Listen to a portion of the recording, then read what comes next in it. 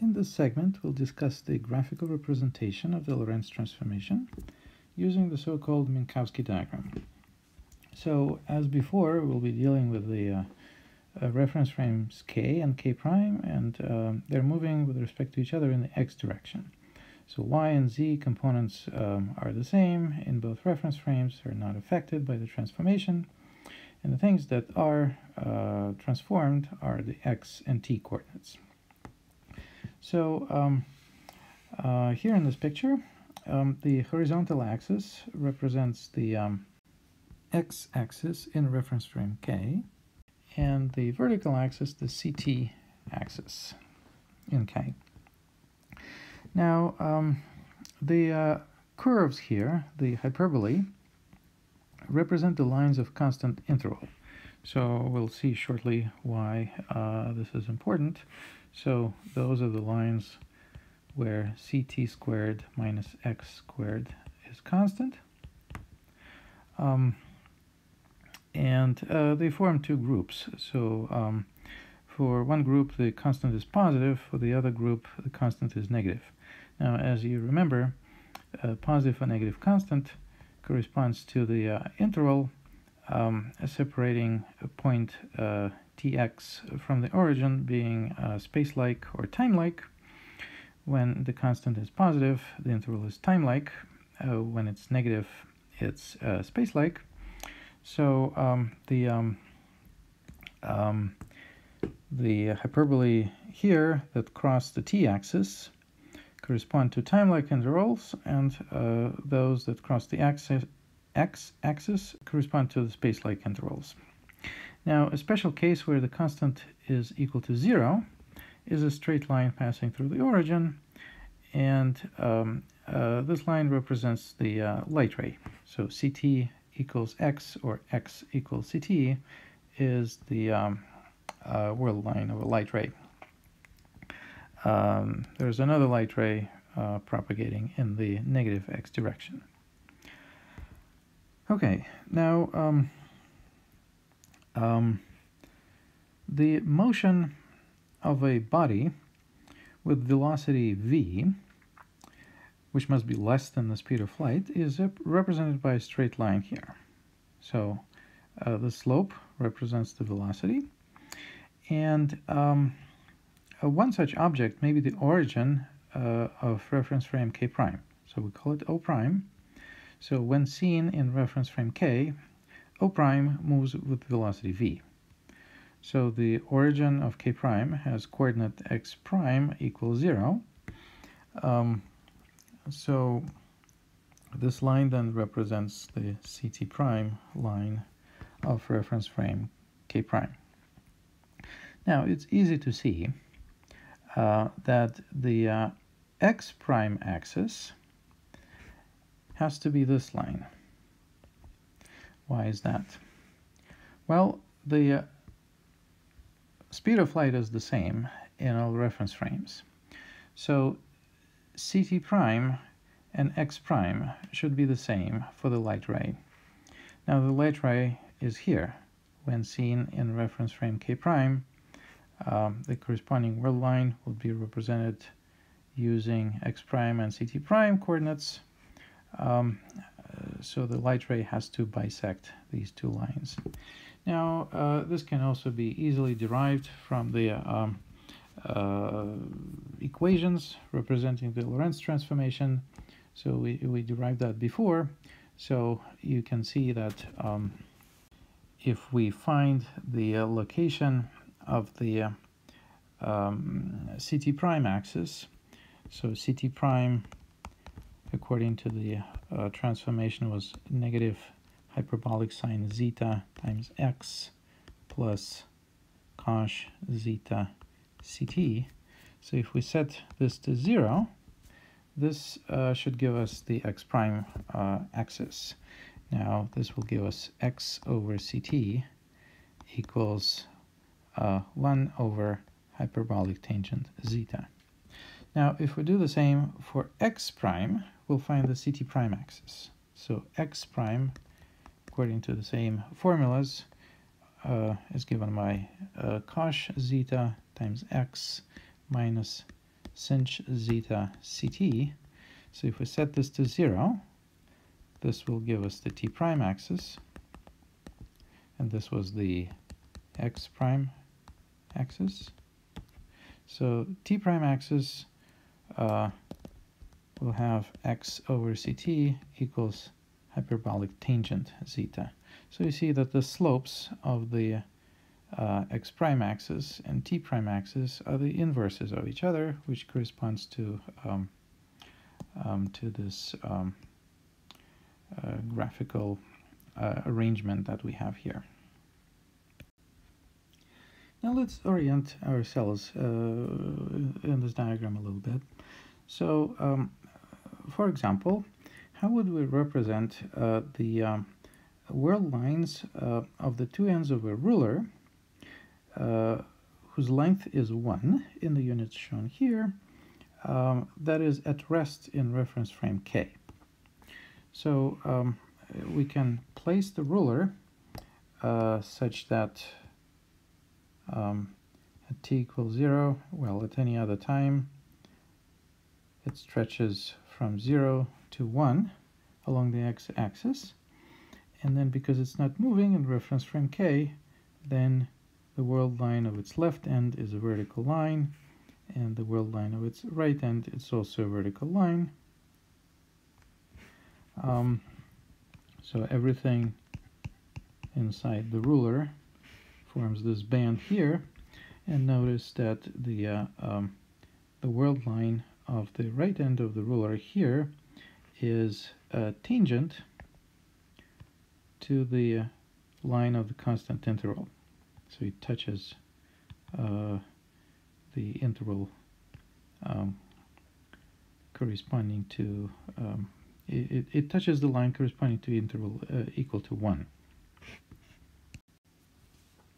Now consider a moving ruler. So let's uh, uh, take a ruler that is at rest in reference frame k prime.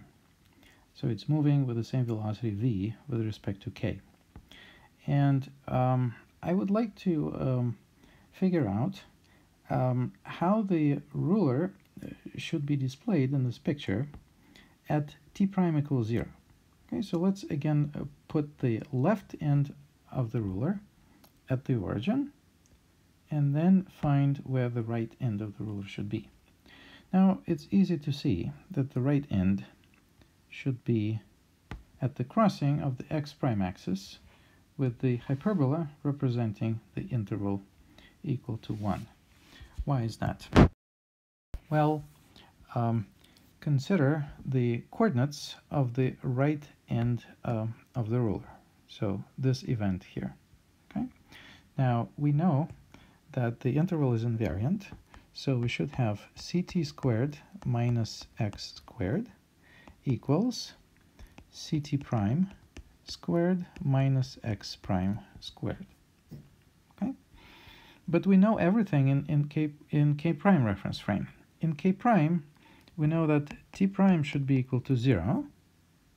We observe both ends at the same time, t prime equals zero, and x prime is equal to one.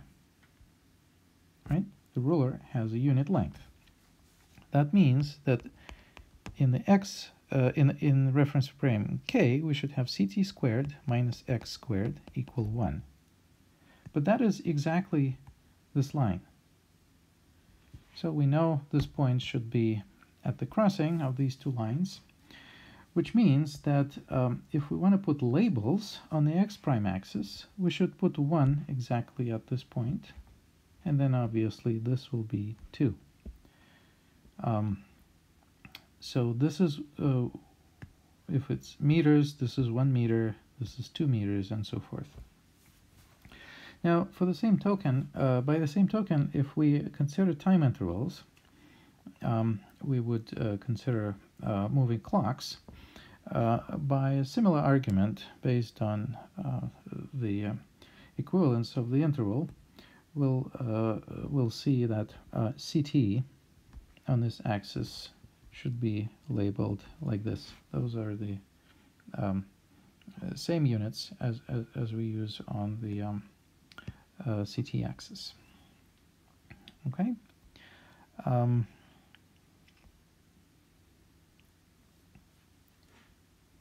now, um, both ends of the ruler move uh, with the same velocity. So if we want the um, world lines of the two ends, we should simply draw lines parallel to the uh, CT prime axis. Now the left end, it's just the CT prime axis. Now the right end is the line that's parallel to it. It's already drawn in this picture. And notice that it is tangent to the hyperbola at this point here. So everything um, inside this band is the moving ruler. So the world lines of any point on the ruler are parallel lines inside this band. Now, um, with this in mind, uh, we can immediately uh, see graphically um, the Lorentz contraction. So um, how do we measure the length of this ruler in reference frame K? So we, we perform two simultaneous measurements um, in reference frame K, which means we observe the left and right ends of the ruler at the same time. So we can uh, take, for instance, CT equals 0. So then we observe the left end at the uh, origin and the right end here. So this is how the ruler appears to us in the reference frame K at t equals 0. But uh, notice that um, the um, right end of the ruler is closer to the origin than 1. So uh, the same ruler at rest would, would extend from 0 to 1, and this end here is uh, less than 1. So the, the ruler appears to be shorter in the reference frame k than its uh, proper length.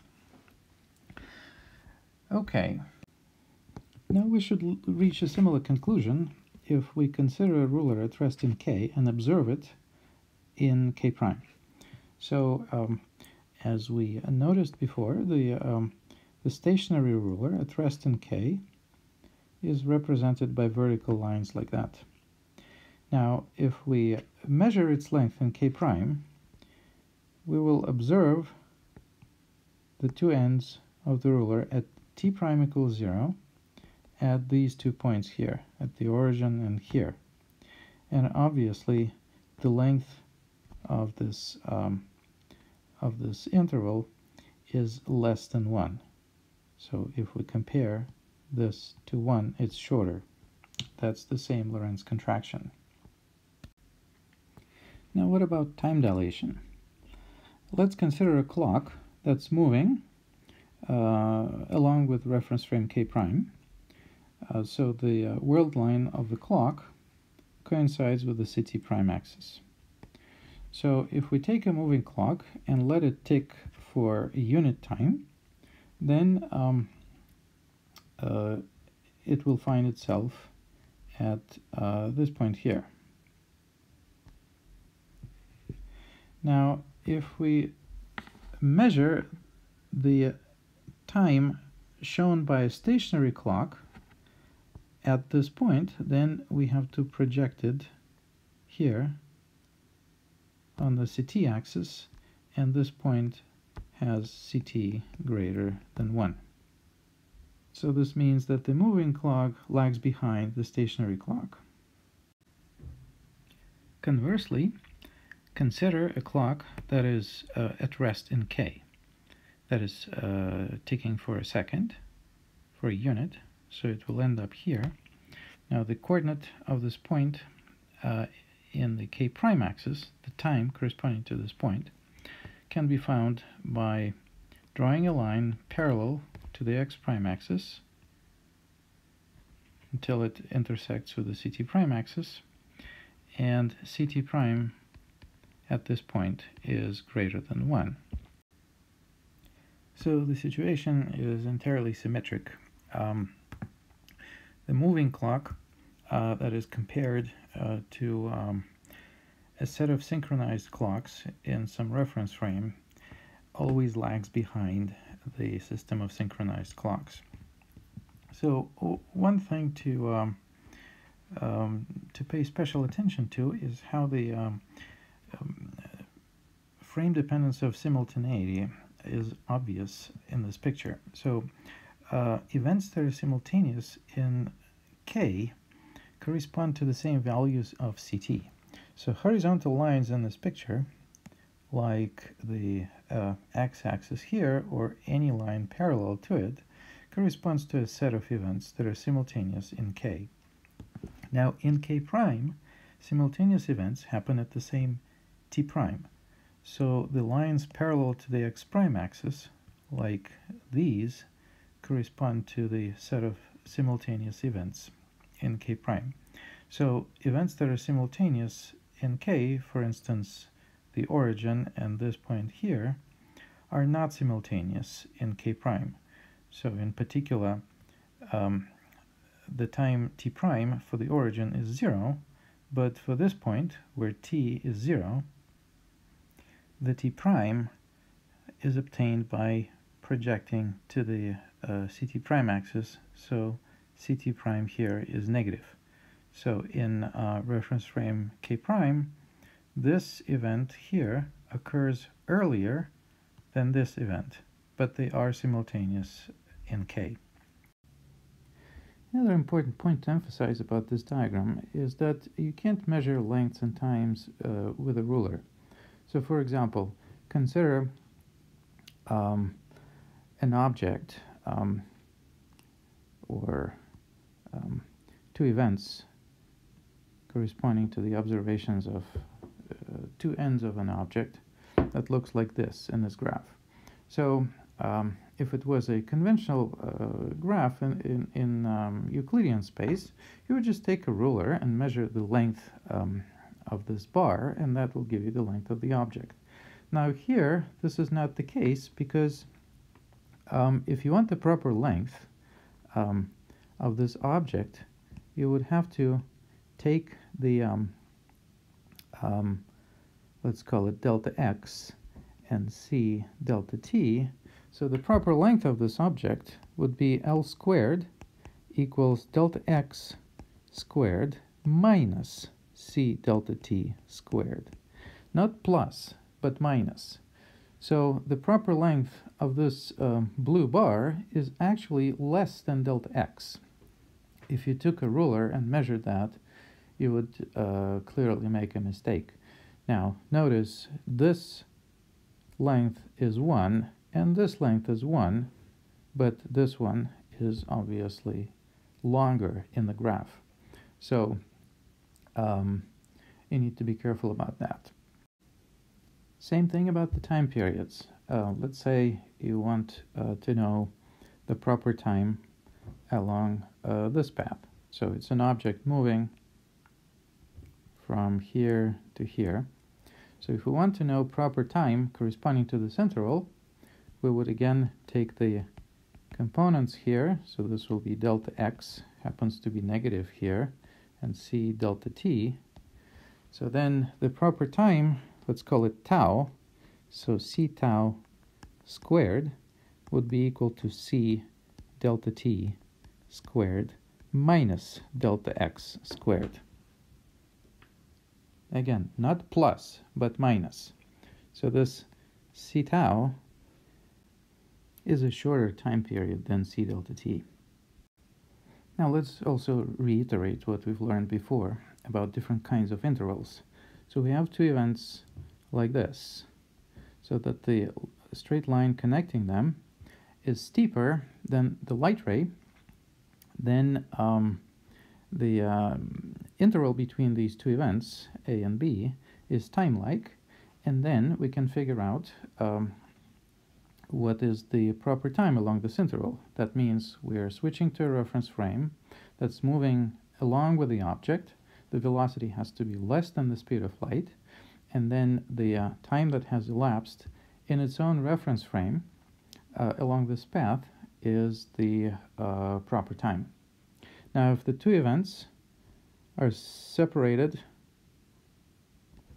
like this, so that the line connecting them is less steep than the light ray, then this interval is space-like, and then um, there is a reference frame in which these two events are simultaneous, and then the distance between them uh, can be called the proper length of some object that is at rest uh, in that reference frame and extends from one point to the other.